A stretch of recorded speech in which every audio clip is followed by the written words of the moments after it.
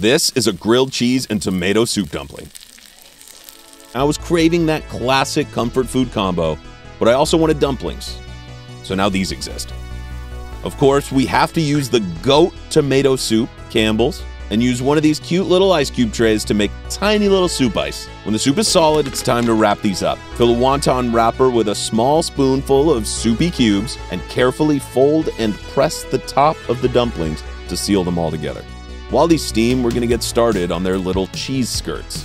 Drop a handful of grated cheese on the pan, and when the bottom gets crispy, set a dumpling on top and it will fuse right into the cheese. They become one.